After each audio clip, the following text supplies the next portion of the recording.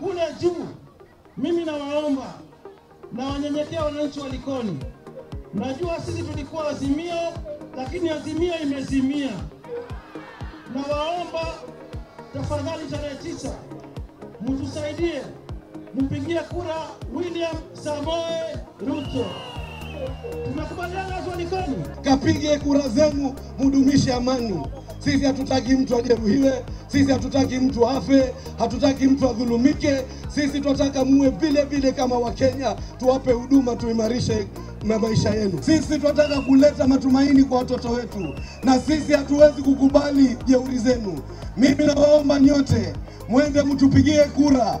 Nyinyi mkijaribu kuiba kura zetu vile mlivyotuibia bandari yetu, tutapita na nyinyi saa kumi na mbili asubuhi.